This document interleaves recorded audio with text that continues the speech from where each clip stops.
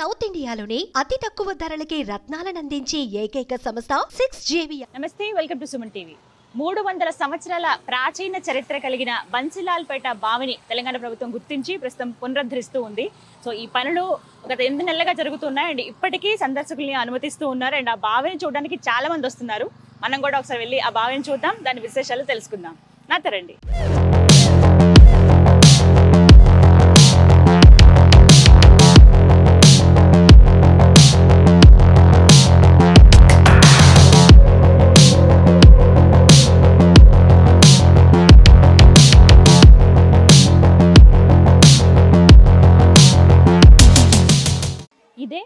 మెట్ల బావి.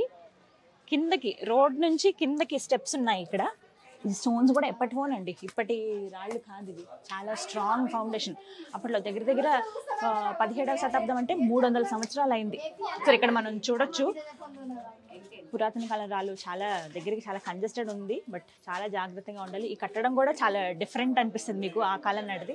పదిహేడవ శతాబ్దం అనేటంటే మనకి మూడు వందల సంవత్సరాల క్రితం అన్నమాట. అప్పుడు ప్రజలకి మంచినీటి సౌకర్యం సరిగ్గా లేదు అని గుర్తించిన నిజాం రాజు రెండు లక్షల లీటర్ల కెపాసిటీ కలిగినటువంటి ఈ బావిని ఆయన తవ్వించారట. భూమి నుంచి యాభై అడుగుల లోతు వరకు ఈ బావిని ఆయన తవ్వించారు. అంటే ఆ తర్వాత కాలంలో అంటే ఒక ఫార్టీ ఇయర్స్ నుంచి దాదాపుగా ఏమైందంటే మరుగున పడిపోయింది. మట్టి పడిపోవడము దుమ్ము ధూళితో కప్పబడిపోవడము ఈ వాటర్ని అంతా యూజ్ చేయకపోవడం. అసలు ఇక్కడ ఇది ఉన్నంత ఉన్నదన్న సంగతి కూడా ఇక్కడ ఎవరికి చాలా మందికి తెలియదట. అంత ఘోరంగా అయిపోయింది. బట్ ఇప్పుడు ప్రభుత్వం వారు దీన్ని గుర్తించి ఇలాంటివన్నీ మనం కాపాడుకోవాలి. అందులోనూ ఏ రీజన్తో ఆయన తవ్వించారు? ఈ డీటెయిల్స్ అన్ని తెలుసుకోవాలి ఆర్కియాలజీ డిపార్ట్మెంట్ ఇవన్నీ తెలుసుకుందాం అనే ఉద్దేశంతో మళ్ళీ పునరుద్ధరించడం స్టార్ట్ చేశారు. ప్రస్తుతం వర్క్ జరుగుతోంది అంతా క్లీన్ చేస్తూ ఉన్నారు. అండ్ మనం ఒకసారి చూస్తే అర్థమవుతుంది తెలుసు? చాలా నీట్గా కట్టారు ఇది. ఇదే బన్సీలాల్పేటలో ఉన్నటువంటి పదిహేడవ శతాబ్దానికి చెందిన బావి. ఇది కూడా స్టెప్స్తో ఉందన్నమాట. మొత్తంగా ఈ బావిని ముందుగా నిజాం నవాబు ఎవరైతే ఉన్నారో అప్పుడు ప్రజల కోసం ప్రత్యేకించి వాళ్ళకి మంచినీటి సౌకర్యం లేదు అని తెలిసినప్పుడు యాభై అడుగుల లోతులో ఒక బావిని ఆయన తవ్వించారు. నార్మల్గా బావి అంటే జస్ట్ తవ్విస్తారు దానికి స్టెప్స్ కడతారు అక్కడి వరకు ఓకే కానీ ఒకసారి మీరు దీన్ని లుక్ చూస్తే మీకు అర్థమవుతుంది. ఒక మెహల్ లాగా కట్టించారు దీన్ని. దీనికి స్టెప్స్ వైజ్గా ఉన్నాయి. త్రీ స్టెప్స్ లాగా కనపడుతున్నాయి. అంటే మూడు భాగాలుగా కనపడుతున్నాయి. అండ్ ఇక్కడ మార్కింగ్స్ ఉంటాయి ప్రత్యేకించి. అయితే అప్పుడు నిజాం నవాబు తవ్వించడానికి రీజన్ ఏంటంటే ముందుగా ఇక్కడ మంచినీటి సౌకర్యం లేదు కాబట్టి సిటీ సెంటర్లో అంటే అప్పుడున్న ఆయన రాజ్యానికి మధ్య భాగంలో ఉంటే బాగుంటుంది అందరికీ అందుబాటులో ఉంటుందన్న ఉద్దేశంతో బన్సిలాల్పేట అనే ఏరియాలో దీన్ని తవ్వించడం జరిగింది. దీనికి ఏంటంటే ఇరవై రెండు లక్షల లీటర్ల నీటి కెపాసిటీ ఉంటుంది యాభై అడుగుల లోతులో ఉంటుంది. ముందుగా అందరూ చెప్తున్నారు కేవలం నిజాం నవాబే కాదు బ్రిటిషర్స్ కూడా దీన్ని డెవలప్ చేశారు అండ్. అలాగే అంతకంటే ముందు కాకతీయులు కూడా దీన్ని ప్రజల కోసం డెవలప్ చేశారు తవ్వించారని చెప్తున్నారు. సో మనం ఇక్కడ చూస్తే మూడు భాగాలుగా కనిపిస్తూ ఉంటుంది. ఒకసారి అక్కడ చూడండి. ప్రతిదానికి మనకి స్టెప్స్ ఉంటాయి. ఈ కింద ఇవంతా కలిపిన ఒక ఇరవై అడుగులు. అండ్ ఆ పైన ఇంకొక ఇరవై అడుగులు ఇంకా ఇరవై. మొత్తం కౌంట్ చేసుకుంటే ఫిఫ్టీ టు సిక్స్టీ అడుగుల వరకు ఇది ఉంటుందన్నమాట. ఇంతకుముందు ఏంటంటే కొంచెం అందరికీ అందుబాటులో ఉంది కాబట్టి పిల్లలందరూ ఏంటంటే ఆ పైనుంచి డయం కూడా చేసేవాళ్ళంట. అక్కడి నుంచి దూకి ఇక్కడ స్విమ్మింగ్ చేయటం మంచినీటి కోసం వీటిని తీసుకెళ్ళడం వాళ్ళకి కంఫర్టబుల్గా ఉండడానికి స్టెప్స్. అండ్ మీరు ఇది పురాతన కాలం నాటిదని చెప్పడానికి కూడా మన ప్రూఫ్లు ఏంటంటే ఈ స్టోనే. ప్రత్యేకించి ఈ రాయి ఆర్కియాలజీ డిపార్ట్మెంట్ చెక్ చేసి మరీ చెప్పింది. ఇది కేవలం వంద సంవత్సరాలు కాదు అంతకంటే ముందే అంటే దగ్గర దగ్గర మూడు వందల సంవత్సరాల క్రితంకి సంబంధించినది అని కూడా దీన్ని చూసి టెస్ట్ చేసి చెప్పారు. అండ్ ఇక్కడ మనం చూస్తున్నాం కదా markings. Twenty eight twenty nine thirty thirty one ఇవన్నీ ఏంటంటే అడుగులు. ఇంతటి వరకు నీళ్ళు వస్తే మనం నార్మల్గా ఇప్పుడు ఎలా బ్యారేజెస్లో డ్యామ్స్లో మనం ఎలా కౌంట్ చేసి చెప్తున్నారో అలాగే ఇక్కడ మార్కింగ్ కోసం అని చెప్పి ఎన్ని అడుగులు నీరు వచ్చాయని లెక్క పెట్టడానికి అని చెప్పి ఇలా మార్కింగ్స్ కూడా వేశారు. అండ్ నేను ఇందాక అన్నాను కదా ఒకసారి ఇక్కడ నుంచి ఓవరాల్ లుక్ చూస్తే అనిపిస్తుంది.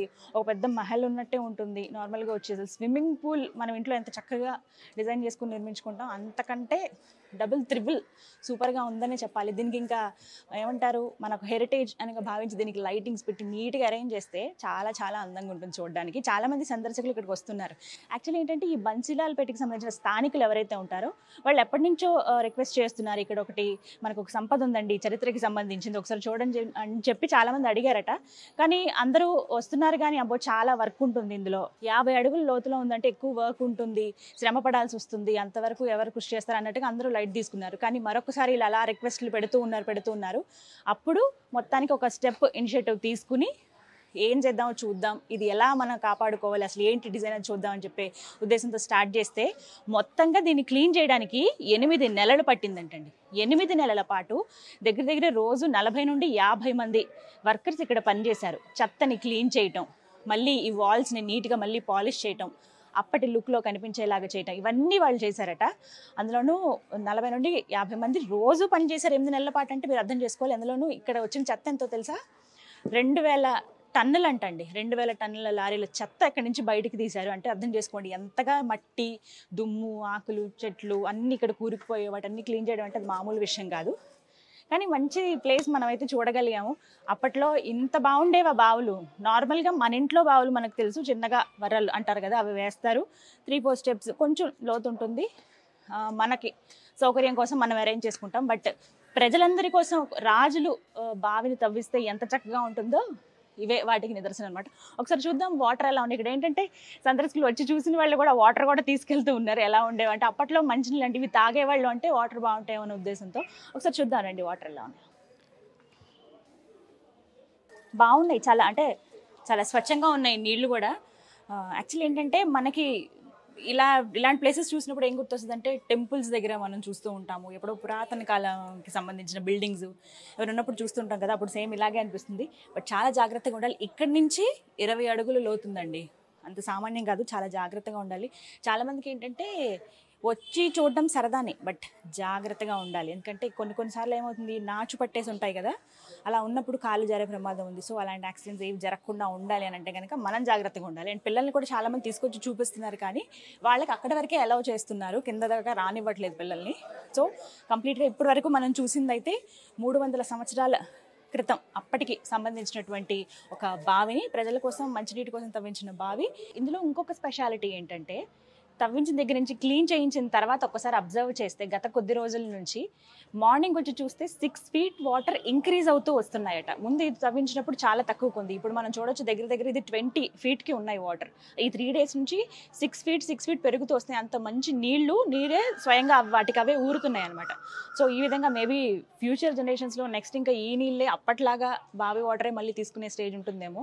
అండ్ ఒకసారి పాతకాలానికి వెళ్తే పంతొమ్మిది వందల ఇరవై ఆ టైంలో పర్టికులర్గా ఈ వాటరే వీటినే ఈ బంచిలాల్పేట్ థర్టీ ఫైవ్ ఏకర్స్లో ఉన్నటువంటి ఈ బంచిలాల్పేట్ ప్రజలు వీటిని తాగేవాళ్ళు వచ్చి తీసుకెళ్ళేవాళ్ళు. అండ్ సండేస్ అయితే పర్టికులర్గా ఇక్కడ ఒక ఫెస్టివల్ అట్మాస్ఫియర్ ఉండేదంట. పిల్లలందరూ ఈత కొట్టడం కొంతమంది మంచినీళ్ళ కోసం రావడం ఎలా ఉందని విజిటర్స్ అందరూ చూసి వెళ్ళటం. సేమ్ మళ్ళీ అలాంటి సిచ్యువేషన్ ఇక్కడ ప్రస్తుతం కనబడుతోంది. అండ్ ఇలా ఇప్పుడు అందరికీ మళ్ళీ ఇలా కనబడడానికి ఒక స్టెప్ ఇనిషియేటివ్ తీసుకుని ఇది మనకి మనకి సంబంధించింది మన హిస్టరీకి సంబంధించింది మనం గర్వంగా చెప్పుకునేది.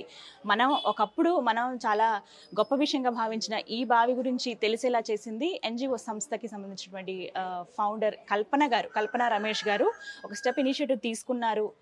క్లీన్ చేయండి అని చెప్పి కావచ్చు రిక్వెస్ట్ల మీద రిక్వెస్ట్లు పెట్టారు ఆవిడ. అండ్ అలాగే ఆవిడతో పాటు స్థానికులు అందరి కృషి మళ్ళీ ఈ బావిని మనం చూడగలిగాము. సో వాటర్ అయితే చాలా స్వచ్ఛంగా ఉన్నాయి. మొత్తం ఇది ఫిఫ్టీ ఫీట్ అంటండి. అండ్ ఒకసారి మీరు కూడా ఒక లుక్ వేసేయండి. చాలా చాలా బాగుంది. ఇలాంటివి మనం చాలా అరుదుగా చూస్తాం.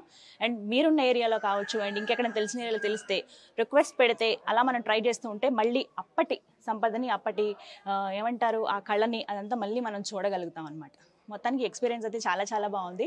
త్రీ హండ్రెడ్ ఇయర్స్ క్రితంకి సంబంధించిన బావిని మనం చూసామంటే మామూలు విషయమా? We are great two thousand twenty two ఇది.